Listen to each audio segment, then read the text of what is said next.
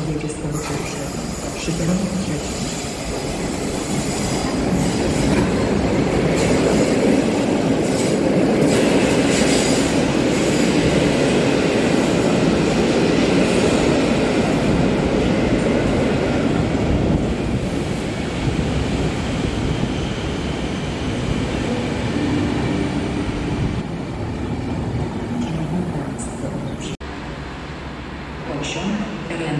do stacji Gdynia Główna przez stację Warszawa Centralna, Ciechanów, Malbor, Sopot.